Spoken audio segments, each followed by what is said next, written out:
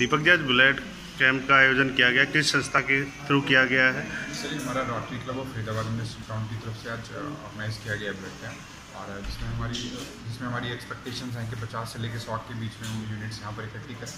और इसके लिए यहाँ की आईएमटी की एसोसिएशन है, जो उसका काफ़ी हेल्प हमें मिल रही है आसपास के सरपंच और जिला परिषद से हमारी बात हुई। उन लोगों ने भी हमें उम्मीद जताई है कि ज़रूर वो यहाँ पर डॉनर्स को देंगे।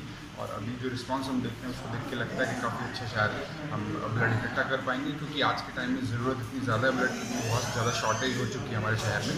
तो उस चीज़ को देखते हुए आज ये ब्लड डोनेशन कैंप इकट्ठा किया गया। तो सर लगभग अब तक कितनी यूनिट हो चुके हैं और कितनी यूनिट होने की उम्मीद है? अभी अभी शुरू हुआ है ब्लड कैंप हमारा तो अभी दस बारह लोग तो आ चुके हैं उन्होंने दे दिया है। और हमारी उम्मीद है कि फिफ्टी टू हंड्रेड के बीच में कहीं ना कहीं हम ज़रूर अपना टारगेट अचीव कर पाएँगे। तो जो डोनर है उनको कोई मैसेज देना चाहोगे आप?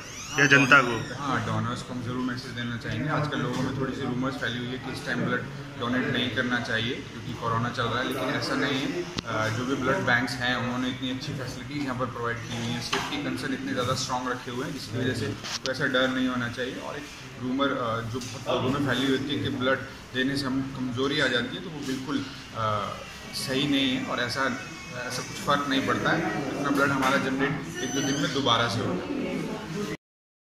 आज जो ब्लड कैंप का आयोजन हुआ है वो किस संस्था के थ्रू लगाया गया?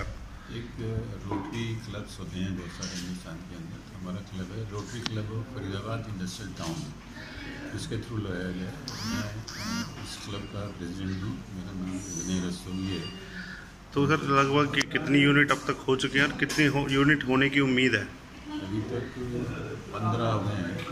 और टोटल हमारा टारगेट है करीब पचास और सौ के बीच में होना चाहिए।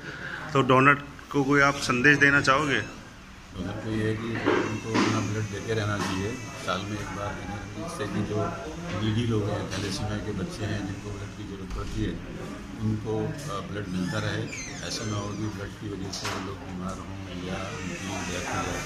तो हमारी एज ए सिटीजन और ड्यूटी बनती है कि हम रेगुलरली जो लोग ब्लड दे सकते हैं ब्लड दें, बच्चों को सेव रखने की कोशिश करें।